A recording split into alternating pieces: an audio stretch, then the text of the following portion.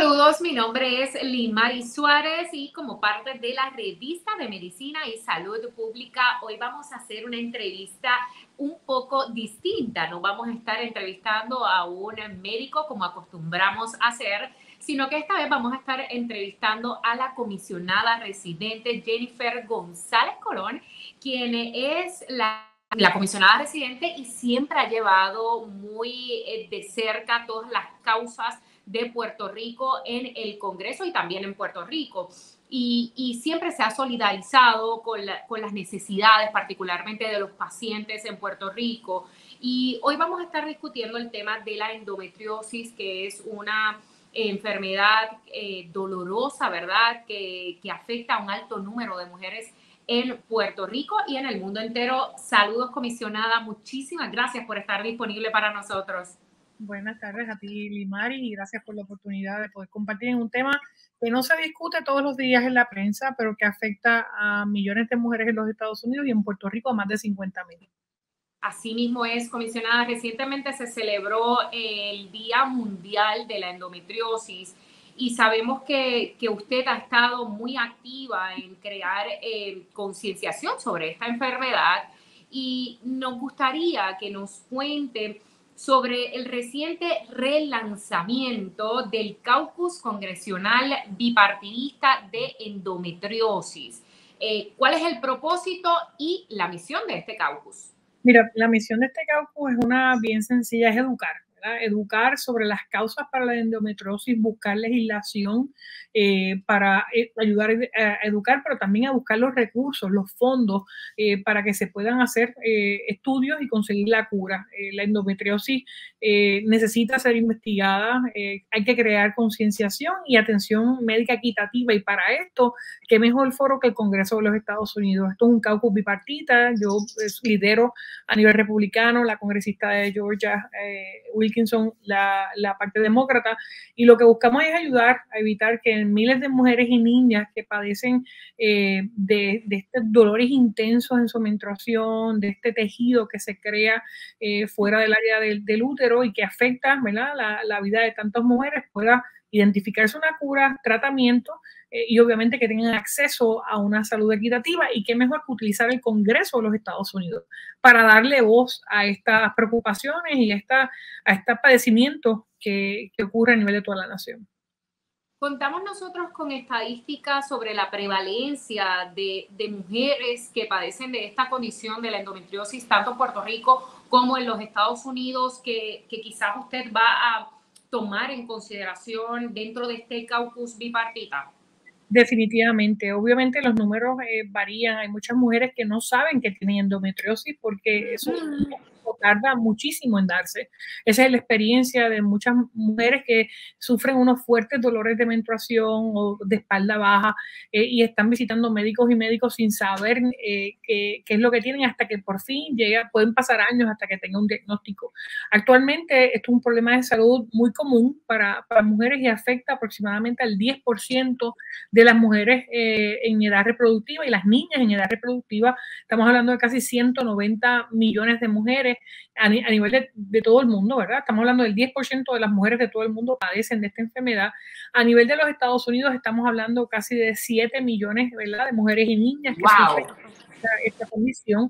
Y según estudios bien recientes, ¿verdad? Eh, cerca de 50 mil de ellas eh, luchan con endometriosis en Puerto Rico. Sin embargo, como, como te digo, eh, los desafíos eh, para la investigación y el diagnóstico sugieren que ese número pudiera ser mucho mayor. Por eso es tan importante esta fase de educación y que, que, la gente conozca, ¿verdad?, de, de cuánto estamos hablando. ¿Usted entiende que este caucus, eh, comisionada residente, eh, podría ser beneficioso eh, o puede tener un impacto beneficioso, debo decir, en las mujeres que padecen esta condición en Puerto Rico? ahorita cuando comenzamos nuestra conversación, usted me dijo, y es una realidad, de que muchas mujeres desconocen que tienen endometriosis. y la endometriosis provoca unos daños colaterales en la vida de la mujer no solamente eh, en el impacto físico, sino en el, también un impacto emocional, porque muchas mujeres con endometriosis también se ven en una situación en la que probablemente se les hace bien cuesta arriba quedar embarazada. eh, así que tiene un aspecto social, un aspecto emocional. E, es una condición que tiene eh, muchas ramificaciones en el impacto en la vida de la mujer. Este caucus, de alguna manera, con lo que ustedes van a estar haciendo, ¿usted entiende que, que, va a poder darle un poquito de ayuda a, las mujeres puertorriqueñas que atraviesan por, por endometriosis? Mira, yo, yo, creo que sí, porque lo más importante es ese proceso de concienciación. Eh, muchas mujeres ni siquiera saben, ¿verdad?, lo que es la condición y a veces tienen que su, su menstruación eh, mensual, pues obviamente es bien dolorosa y entienden muchas de ellas que como siempre han tenido una menstruación dolorosa es normal y no es normal. Eh, y también obviamente el tipo eh, de flujo, los distintos síntomas que tiene esta condición, muchas mujeres lo, utilizan como si fuera normal, ¿verdad?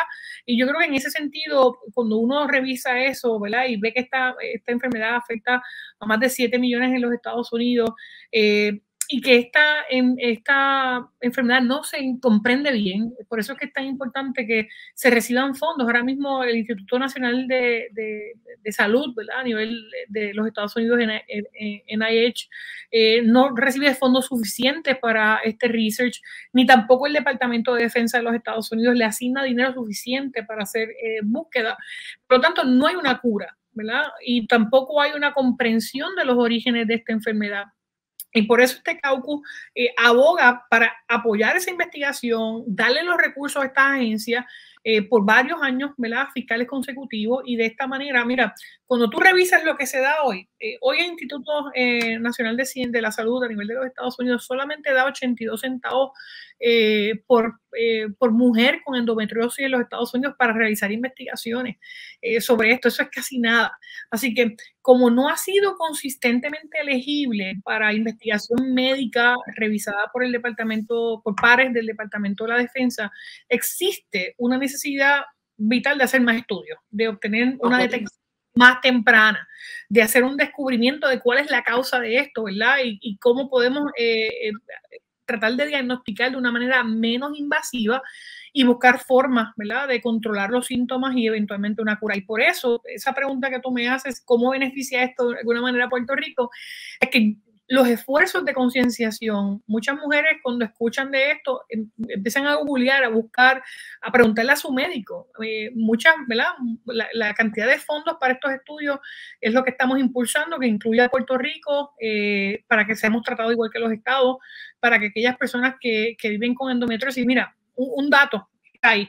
Eh, las mujeres que viven con endometriosis eh, pasan hasta un promedio de casi 10 años visitando distintos médicos, pagando miles de dólares en facturas de, de asistencia médica hasta que entonces consiguen un diagnóstico o un tratamiento y muchas de ellas cambian hasta de médico porque siguen con el dolor, no saben qué es lo que es hasta que finalmente se les diagnostica. Y esos contratiempos han resultado en que mujeres pierdan eh, no solamente horas de trabajo, miles de dólares en, gastos que se estima en más de 78 mil millones de dólares en atención médica anual, pero también eh, en que no puedan quedar embarazadas, ¿verdad? Y si tú puedes atender todas estas cosas a tiempo, eh, en, más, más temprano, le puedes evitar, ¿verdad? A una mujer estos contratiempos en el futuro. Recientemente eh, entrevistaba aquí como parte de, la revista de Medicina y Salud Pública al doctor Naval Bracero, que es especialista endocrinólogo y ginecólogo obstetra, que trata los casos de endometriosis y, las complicaciones que esto genera. Y, él me, recuerdo que me decía que, una paciente con endometriosis, pues también, eh, si no lo detecta a tiempo, si no lo atiende a tiempo, pues se le hace más cuesta arriba poder quedar embarazada. Y, a tiempo me hablaba él, recuerdo la edad de 25, 26 años, que, que todavía muchas mujeres a esa edad están comenzando su carrera profesional, este, eh, están eh, enfocadas en otros aspectos que probablemente no sea la salud. Tomando en cuenta esto que usted nos dice que también usted me lo comenta de que la detección de la endometriosis a veces toma mucho tiempo. ¿Cuán importante usted considera que es la educación dirigida a los especialistas, a los médicos y a los pacientes?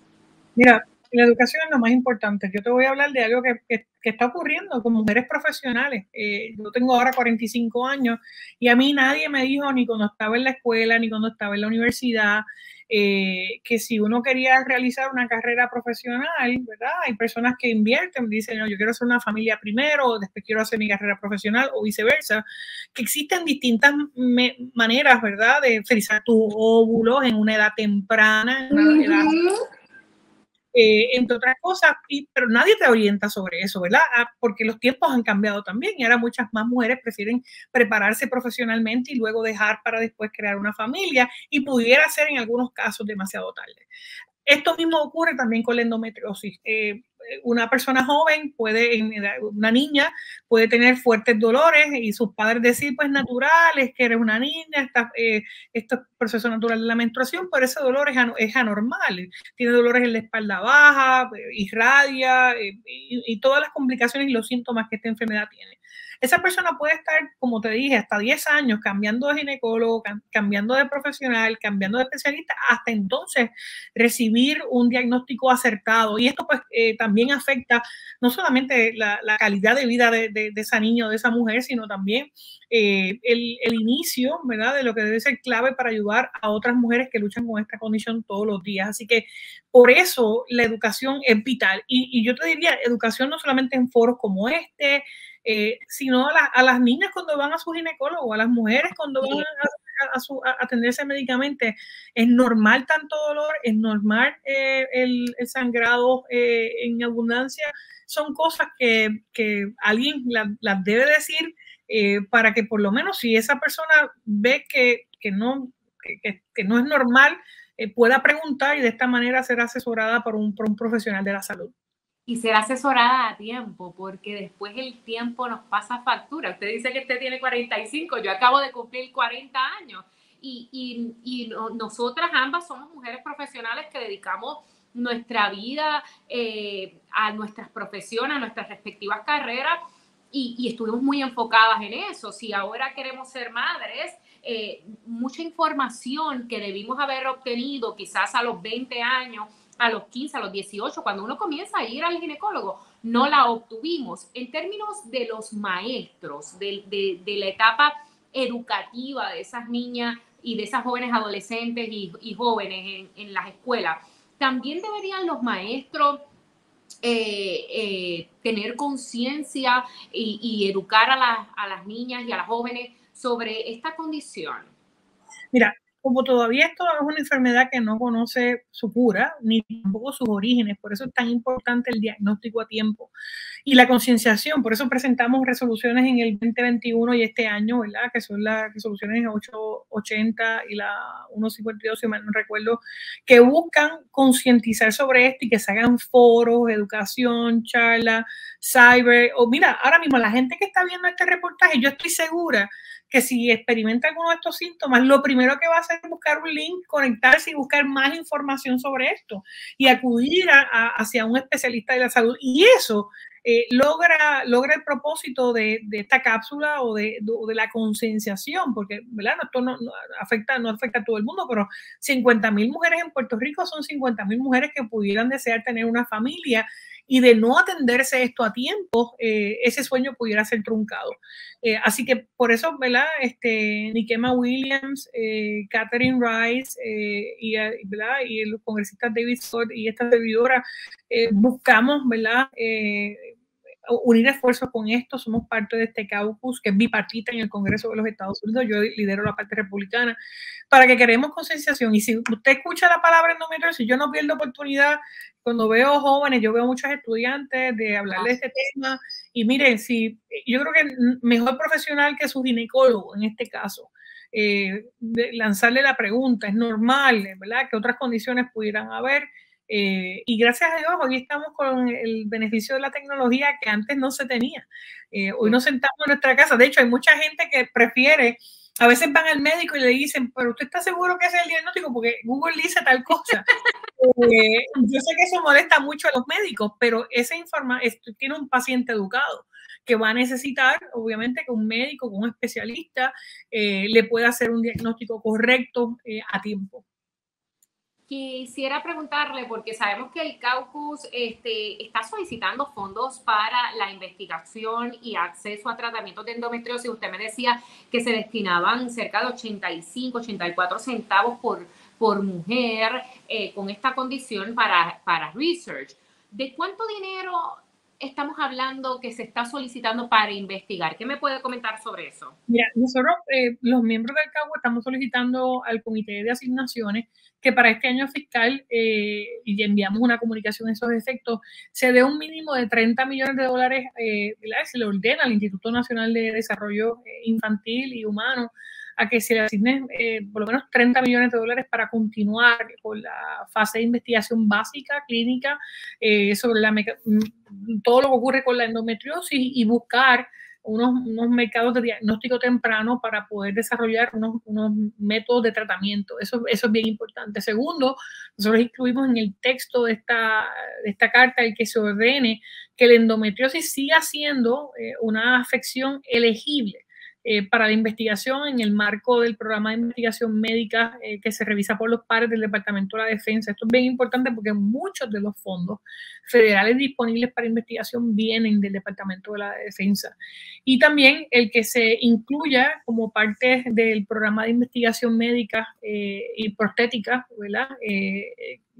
Para, de los Estados Unidos. Estas son cosas bien, bien importantes porque si estas agencias no incluye, no, incluimos este lenguaje, eh, pues siguen pasando los años con asignaciones mínimas de investigación. Comisionada, no quiero pasar eh, inadvertido una pregunta que para mí como periodista siempre está bien latente y es que cuando se trata de condiciones médicas, eh, no solamente en Puerto Rico, sino también en los Estados Unidos, quizás el reto, por no decir el problema más grande que enfrentan los pacientes es que sus planes médicos le cubran el tratamiento, le cubran eh, lograr dar un diagnóstico de forma temprana.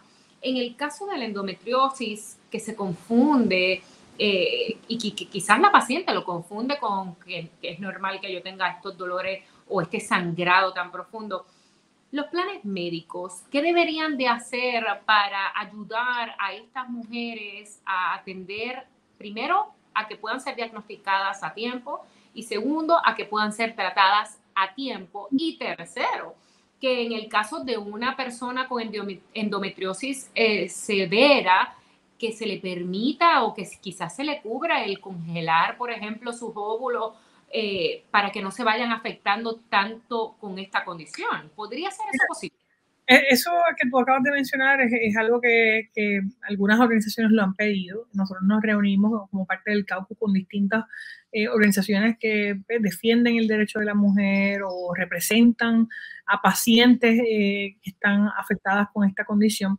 es un tema que todavía, de hecho, óvulos en, en, términos de fertilidad no son cubiertos por la mayoría de los planes médicos, así que un proceso de fertilidad ni siquiera lo incluye en el día de hoy para muchos planes médicos. Eh, así que son temas que todavía están, eh, por eso este caucus es tan importante, porque hay que crear concienciación, hay que buscar alternativas eh, y ciertamente eh, la afección de la endometriosis es una enfermedad más. Una vez el, médico la diagnostica, pues obviamente debe cubrir sus medicamentos. Si aquellos pacientes a los que estos medicamentos no les cubran o los tratamientos no les cubran, es importante que lleve su voz de alerta eh, y que nos deje saber también en el Congreso, porque precisamente eh, eso es lo que hacemos con muchos de los pacientes y las organizaciones que representan a pacientes, ver cuál, es, cuál es la práctica y ver cómo nosotros lo incluimos. Las cosas que incluimos en la comunicación son las que las organizaciones han estado pidiendo en este momento. Excelente, pues comisionada, nosotros vamos a estar muy pendientes sobre este proceso de investigación y este caucus bipartita que va a estar investigando lo que tiene que ver eh, con la endometriosis, sus causas, sus retos y cómo podemos ayudar y empoderar a las mujeres, no solamente en Puerto Rico, sino también en los Estados Unidos continentales, para poder atender esta, esta condición a tiempo y tener una vida lo más normal posible. Así que, como siempre, más que agradecida por su tiempo, sabemos que tiene una agenda bien cargada, pero, pero gracias por crear conciencia sobre un tema que nos afecta a las mujeres eh, y que yo creo que debe de tener visibilidad a nivel del Congreso, a nivel de toda la nación y a nivel de Puerto Rico que lamentablemente no se habla eh, con la frecuencia que se debería, porque mucha gente piensa, bueno, como le afecta solamente a, al 7%, al 10%, pues no nos afecta a toda la comunidad. Y la realidad es que afecta a familias, afecta a matrimonios jóvenes, ¿verdad? afecta eh, el, futuro. De, una pareja eh, también, sin incluir el dolor eh, que las mujeres y jóvenes niñas pudieran estar sufriendo sin necesidad si estas condiciones se diagnostican y se tratan a tiempo. Así que gracias a ustedes por la oportunidad. Muchísimas gracias, que tenga excelente día y queremos como siempre invitar a toda nuestra gente a que se quede conectado a través de todas nuestras plataformas y redes sociales de las revistas de medicina y salud pública. Puede seguirnos también a través de medicina y salud pública.com. Muchísimas gracias. Hasta entonces.